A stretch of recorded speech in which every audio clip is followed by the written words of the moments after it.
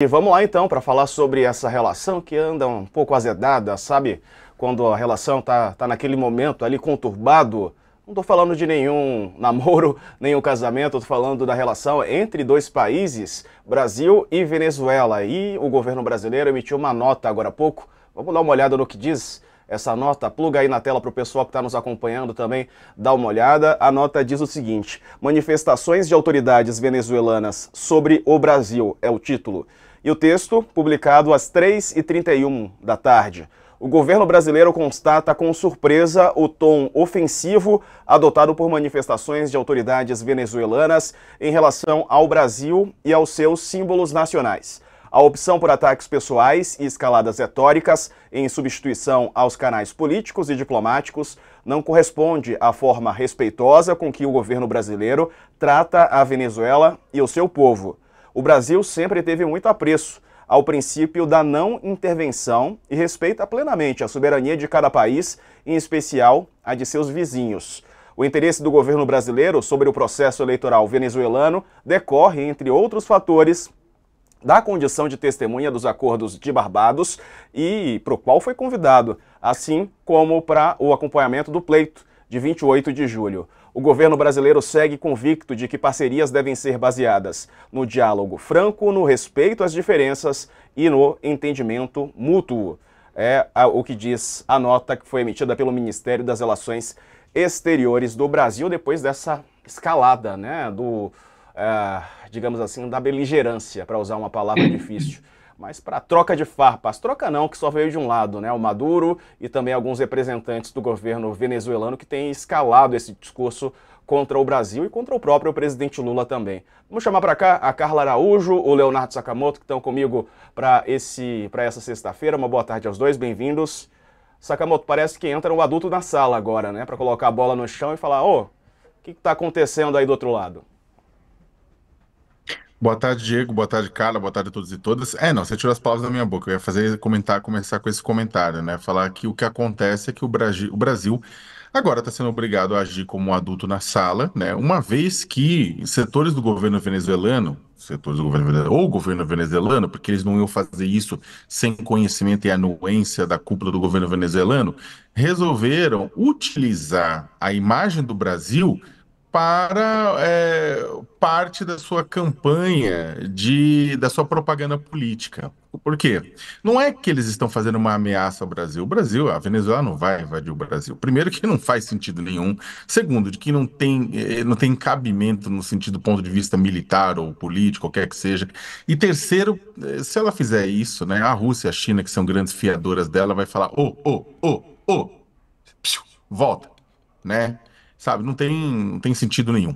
Né? Então, a Rússia e a China que reconheceram a, o Maduro, ao contrário do Brasil, então não tem interesse nenhum desse tipo de confusão junto aos principais é, membros e parceiros do BRICS. Então, não tem, não tem sentido. O que acontece, na verdade, é que ao atacar o Brasil, que tem tomado uma atitude, e isso que é o mais interessante, o Brasil não está dando as costas para a Venezuela. O Brasil está mantendo o diálogo. E o governo Lula tem sido foi muito criticado por manter o diálogo. E é importante, porque, tipo, quem é irresponsável simplesmente dá as costas e fala, ó, oh, tô fora, você é meu inimigo, acabou. Não, o Brasil, a Colômbia e o México decidiram, vamos sentar, vamos conversar, oposição, governo, vamos procurar uma forma. Não conseguiu, mas houve uma tentativa.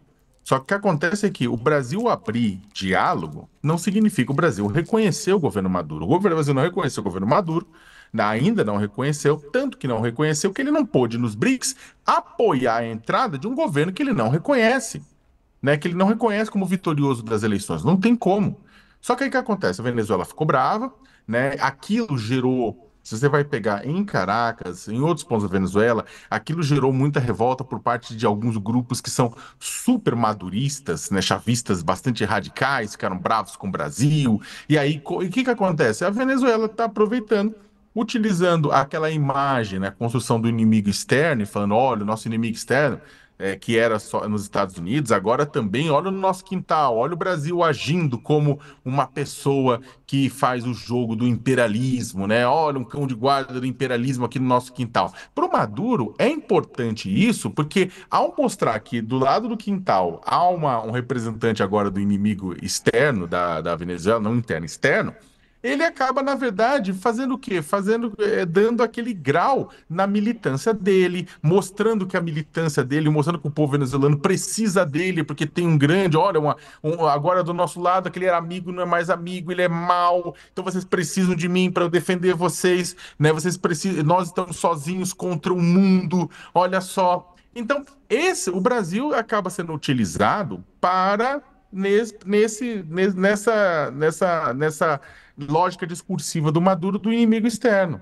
Né? O que é uma tremenda de uma bobagem. O Brasil foi extremamente, quando o mundo, boa parte do mundo democrático deu as costas para a Venezuela, o Brasil não. O Brasil agiu como um adulto na sala. E agora, o que, que a Venezuela faz? O que, que, que o grupo do Maduro faz? Age como uma criança mimada. Né? O que, que acontece? Tem o adulto na sala e você tem a criança, não é nem mimada, é a criança do bullying. Você tem um adulto na sala tentando controlar e pacificar, tentando pacificar a criança do bullying. Né? Aquela criança que fica fazendo bullying, a criança birrenta, a criança que quer, que quer causar. Né? Então, o Brasil, essa nota do Brasil foi extremamente polida. Falou: olha, a gente está fazendo nosso papel, a gente é contra esse tipo de escalada verbal, né? Não faz sentido nenhum, segue o jogo. Não vai xingar o Maduro, não vai atacar o Maduro, não vai nada, que é exatamente isso que o Maduro quer. O Maduro adoraria uma resposta do mesmo tom para ele poder fazer essa escalada. O Maduro vive desse tipo de fantasia. Nicolás Maduro vive de fantasias. Né? É a fantasia da invasão da, da Guiana, é a, a fantasia da guerra com os Estados Unidos, né? Ele deveria se preocupar com outra realidade, que é o povo dele com fome. Exato, cada vez mais pessoas, Carla. E a gente, a gente vê também uma situação, né? Porque, vamos falar a verdade, é, enquanto o Brasil mantinha é, diálogo e até uma relação cordial com o Nicolás Maduro, em especial o presidente Lula mesmo, né? Quando é, boa parte da comunidade internacional deu as costas é, para ele, é, ele, é, me parece, veio aqui, foi bem tratado, prometeu muita coisa que não entregou, e agora, né, o governo brasileiro falou, peraí, calma, né? É, não, não vou aceitar a sua vitória também, quer dizer, não vou reconhecer a sua vitória dessa, dessa maneira, assim, assim não dá.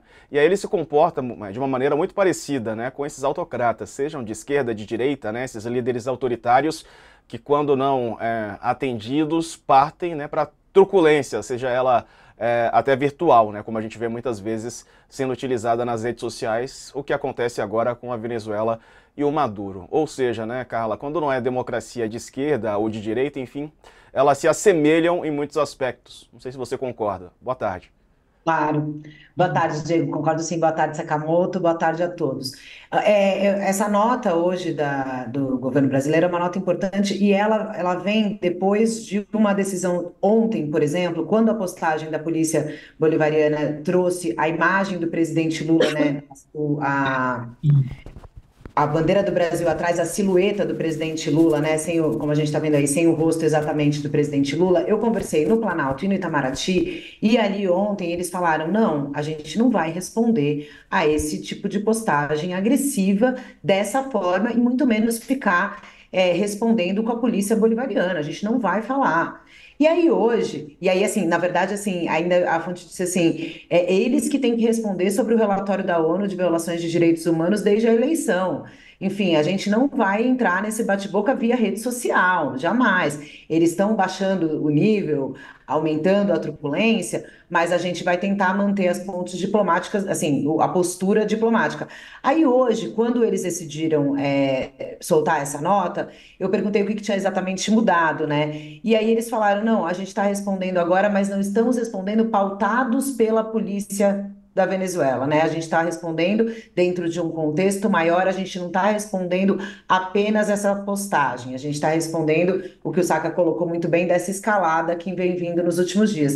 Então, o, governo tem feito, é, é, Saca e Diego, uma, uma estratégia de também esperar um pouco para reagir, para não reagir como o, Saca colocou, nessa, nessa, nessa questão imediata e, e, ampliar a escalada, né? Porque é isso que Maduro quer. Então, é, o governo vai lá, bom, tá tendo essa postagem, é agressiva, é muito agressiva, evidentemente, mas calma, vamos pensar como responder de uma forma melhor para não ampliar essa escalada. E aí vem essa nota hoje do Itamaraty agora à tarde, Diego. Mas, de novo, o governo tem, tem tido muita cautela nisso, porque a gente tem sempre falado aqui, né? É uma situação sempre muito delicada para o presidente Lula, que tem esse histórico de aliança com a Venezuela, que está por conta desse processo eleitoral não reconhecido pelo Brasil é, e com todas essas escaladas de, de ofensas aí por parte da Venezuela, cada vez mais rachado, mas é um desgaste para o governo do presidente Lula, porque também a gente sabe, a direita aproveita, é, faz, constrói narrativas, amplia fake news e acaba desgastando mais o governo por isso. Por isso, cada palavra da diplomacia brasileira, nesse caso, é muito bem pensada, Diego.